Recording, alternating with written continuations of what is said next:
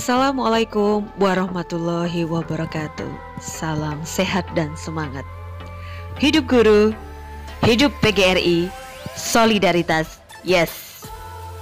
Puji syukur di kesempatan kali ini Allah memberikan saya kesempatan untuk bisa bergabung dalam kegiatan lomba dalam rangka HUT ke-76 dan HGN tahun 2021 yang diselenggarakan oleh PGRI Provinsi Jawa Tengah. Pada kesempatan kali ini saya akan menyampaikan terkait dengan laporan best practice dengan judul Blended Learning tingkatkan hasil belajar kelas 6 di SD Negeri Sugihan 3. Pada masa pandemi ini di masa pembelajaran jarak jauh di mana siswa harus belajar dari rumah, memang guru memiliki tantangan yang luar biasa sehingga ada hal-hal yang harus dilakukan ataupun berbagai inovasi yang harus dilakukan supaya pembelajaran tetap bisa dilaksanakan. Nah, seperti apa? Namun sebelumnya saya akan memperkenalkan diri terlebih dahulu. Nama saya adalah Eva Widya Stuti, SPD SD MBD. Saya adalah guru di SD Negeri Sugian 3, Kecamatan Dosari, Kabupaten Sukoharjo. Saya adalah anggota PGRI Kabupaten Sukoharjo dan moto saya adalah bergerak berkarya, dan menginspirasi. Terkait dengan laporan best practice yang sudah saya lakukan dalam masa pembelajaran jarak jauh di masa pandemi ini, yaitu dengan judul Blended Learning tingkatkan hasil belajar kelas 6 di SD Negeri Sugian 3 yang mana sebelumnya siswa-siswa di SD Negeri Sugian 3 terutama di kelas 6 sama sekali tidak mengenal ataupun belum pernah melakukan uh, kegiatan web meeting dalam pembelajaran. Jadi dalam best practice saya ini benar-benar dimulai dari awal bagaimana saya harus mengajarkan anak saya murid-murid saya, peserta didik saya, supaya mereka bisa mengikuti kegiatan pembelajaran jarak jauh dengan menggunakan web meeting yang telah disepakati atau yang digunakan. Latar belakang dari kegiatan ini adalah adanya pandemi COVID-19 sehingga harus dilaksanakan PJJ, kemudian adanya era disrupsi pembelajaran jarak jauh, kemudian tantangan guru harus melek teknologi dan juga karena anak-anak harus belajar dari rumah sehingga guru harus memberikan pembelajaran secara jarak jauh walaupun tidak bertemu muka secara langsung paling tidak guru bisa berinteraksi secara langsung dengan siswanya. Adapun rumusan masalahnya yang pertama adalah bagaimana pelaksanaan pembelajaran blended learning di masa pandemi.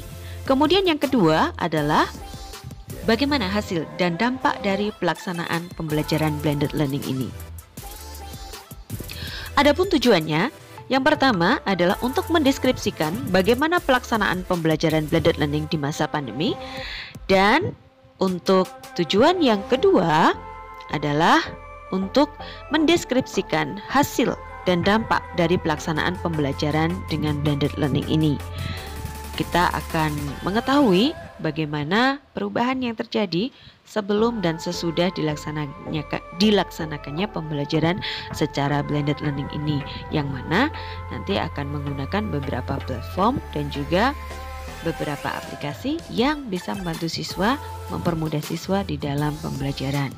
Adapun manfaat secara teoritisnya adalah sebagai acuan dan landasan berpikir dalam mengimplementasikan pelaksanaan pembelajaran blended learning di masa pandemi.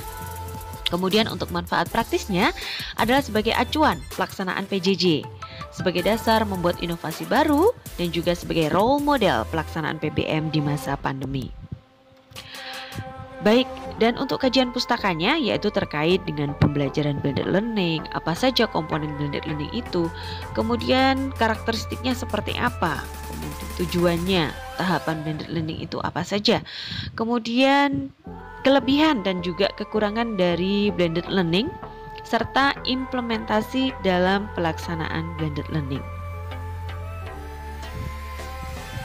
Nah, pada laporan best practice ini pembahasan masalah yang pertama terkait dengan prosedur pelaksanaan yaitu meliputi menetapkan macam dan materi bahan ajar, menetapkan rancangan blended learning, menetapkan format pembelajaran online-nya, melakukan uji coba, kemudian dilanjutkan menyelenggarakan blended learning, Dan seterusnya adalah menyiapkan kriteria untuk pelaksanaan evaluasi. Nah, terkait yang pertama, yaitu menetapkan macam dan materi bahan ajar yaitu kita harus menentukan tema, subtema, pembelajaran keberapa, kemudian KIKD yang dipilih adalah yang apa. Ini harus kita tentukan dalam langkah yang pertama. Kemudian untuk langkah yang kedua adalah saya menetapkan rancangan blended learning yang digunakan yaitu terkait dengan tujuan pembelajarannya, materinya, media alat bahan yang digunakan serta sumber belajar yang digunakan. Setelah itu, saya akan menetapkan format pembelajaran online-nya meliputi pada waktu pra KBM melalui WA Group ataupun melalui luring. Kemudian pada waktu PBM dengan menggunakan Zoom, YouTube, Google Form dan pasca PBM menggunakan WA Group, YouTube dan juga Gform. Nah, sebelum itu dilaksanakan, harus diadakan uji coba terlebih dahulu. Uji coba bisa dilakukan dengan diskusi rekan guru, apakah nanti kira-kira sudah sesuai, memilih platform web meeting yang sesuai dengan keadaan, kemudian koordinasi dengan orang tua dan peserta didik, dan dilanjutkan dengan uji coba dengan anak-anak. Kemudian menetapkan format pembelajaran online melalui WA Group dan yang dipilih adalah pada pelaksanaan ini adalah menggunakan Zoom Meeting karena itu saya rasa lebih memungkinkan karena untuk recordnya yang nanti bisa saya unggah di Drive yang mana bisa diakses siswa jika siswa tersebut tidak bisa mengikuti pembelajaran secara luring pada waktu web meeting.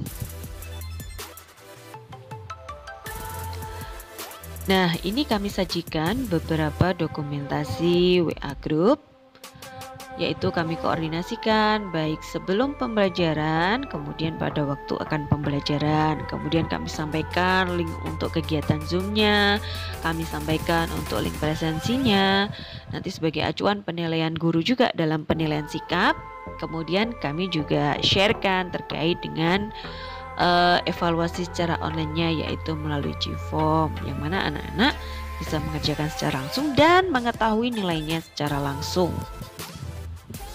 Kemudian berikut kami sajikan dokumentasi melalui Zoom meeting yang mana dimulai dari kegiatan pembukaan.